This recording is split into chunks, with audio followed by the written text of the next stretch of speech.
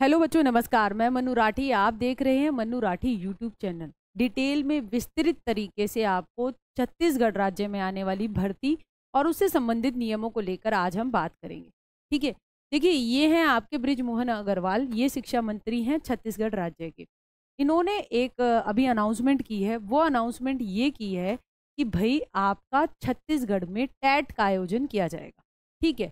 Chhattisgarh TET जो है, वो आपका एक परीक्षा है, ठीक है? जैसे हमारे सी टेट होता है, ठीक है? केंद्रीय लेवल पर, ऐसे ही स्टेट लेवल पर आपका यूपी में यूपी टैट हरियाणा में हरियाणा टैट ऐसे होता है। ऐसे ही छत्तीसगढ़ में होता है छत्तीसगढ़ टैट उसके लिए उन्होंने कहा है कि आपके आवेदन शुरू हो जाएँगे सात मार्च से। लास्ट डेट होगी, फॉर्म भरने की, देखिए, वो होगी सात अप्रैल और परीक्षा आपकी इक्कीस जुलाई दो हज़ार चौबीस में करा ली जाएगी। ठीक है? ये क्या हुआ? छत्तीसगढ़ टैट अब छत्तीसगढ़ टैट जो होता है सी जी टैट जिसको हम कहते हैं, उसका एक होता है पेपर वन और एक होता है पेपर टू। जैसे कि आपका सी टेट का होता है। पेपर वन होता है पहली से पाँचवीं के लिए, पेपर टू छठी से आठवीं के लिए। अब इसके अगर हम सिलेबस की बात करें बेटा तो इसके सिलेबस को आप देख सकते हैं कि इनका छत्तीसगढ़ टैट का सिलेबस जो है, वो बिल्कुल आपका सी टेट जैसा है। ठीक है? जिसमें आप देख सकते हैं, आपकी सीडीपी में आपका चाइल्ड डेवलपमेंट के टॉपिक्स बिल्कुल सेम आपके वही हैं, ठीक है? पैडागोजी भी पूछी जा रही है तो बिल्कुल आपका सी टेट के पैटर्न पर ये सिलेबस है, ठीक है? तो इसके लिए आप कर क्या सकते हैं? इसके लिए मैं आपको एक हेल्प के लिए बता देती हूँ, ठीक है? ये आपकी दो वीडियोज़ हैं, ठीक है? जो कि आपको नोटबुक अकेडमी एप्लीके नोटबुक अकेडमी यूट्यूब चैनल है हमारा, वहाँ पर आपको ये मिल जाएँगी। तो आप ये दोनों वीडियोस देख सकते हैं। इसमें मैंने छत्तीसगढ़ टैट के सीडीपी की एक मैराथन करा रखी है और जो पेपर हुआ था, उसका एक सॉल्यूशन करा रखा है। नोटबुक अकेडमी हमारा यूट्यूब चैनल है, संजीव सर वाला। वहाँ पर आप ये दोनों वीडियोस देख सकते हैं, आपको हेल्प मिल जाएगी। इन दोनों को कर लेना। ठीक है, अब आगे क्या बात है? आगे देखिए, बात ये है कि इन्होंने कहा था कि भाई सी जी टेट हम कराएँगे। ठीक है, अब इससे पहले जो थी, वो भूपेश सरकार की सरकार थी। उन्होंने क्या किया था? उन्होंने 2023 में एक भर्ती निकाली थी। भर्ती की अगर मैं बात करूँ वो भर्ती भाई पाँचवें महीने में निकली थी ठीक है? यानी मई में निकली थी और 21 दिन के बाद उसकी परीक्षा भी ले ली थी। इतने कम टाइम पे बच्चों का पेपर हो गया था ठीक है?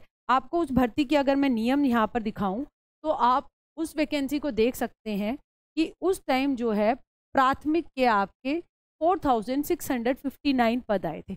एक इंपॉर्टेंट बात क्या रहती है जब हम छत्तीसगढ़ में बात करते हैं शिक्षक भर्ती की तो अन्य राज्य को लेकर एक बड़ा बात रहती है तो देखिए जब पिछली बार 2023 में आपकी भर्ती आई थी, जिसको जो मैंने अभी आपको दिखाई तो देखिए वहाँ पर एक बहुत बोल्ड में मैं आपको दिखा रही हूँ कि जो अभ्यर्थियों को छत्तीसगढ़ राज्य का निवासी होना अनिवार्य है तो छत्तीसगढ़ राज्य का बंदा ही वहाँ पर जो है आवेदन कर सकता है।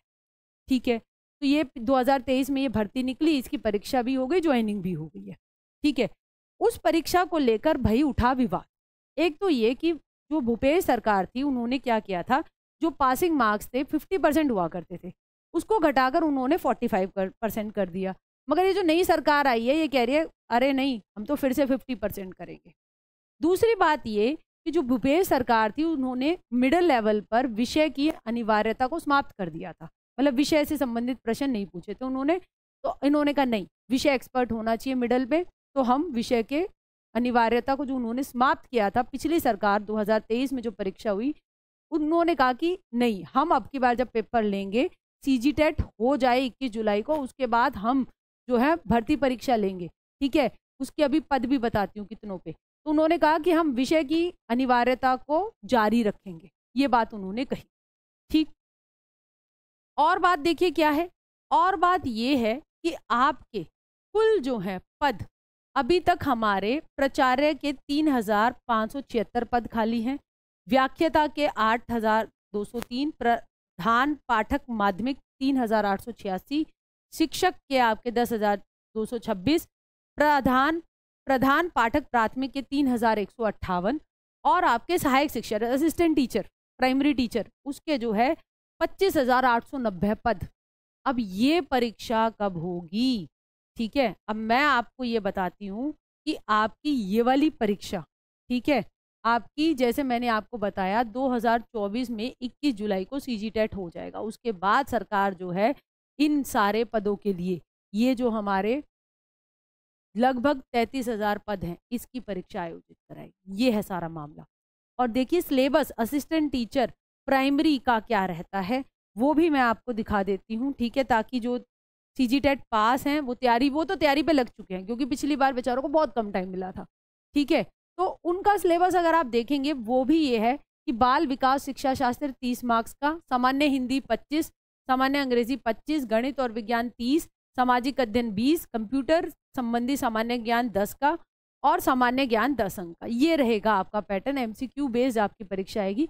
ये मैंने आपको बताया, जो तैंतीस हज़ार पद निकलेंगे उसमें, जो न, जो हमारा प्राइमरी प्राथमिक का पैटर्न ये रहेगा और ये ये विषय आपके आएँगे। सीजी टेट का सेम पैटर्न सी टेट का ही है पैडागोजी भी पूछते हैं, आप प्रश्न पत्र देख भी सकते हैं, व्यापम की वेबसाइट पे अवेलेबल है, और बाकी जो दो मैंने वीडियोस आपको बताई उनको देख लीजिएगा।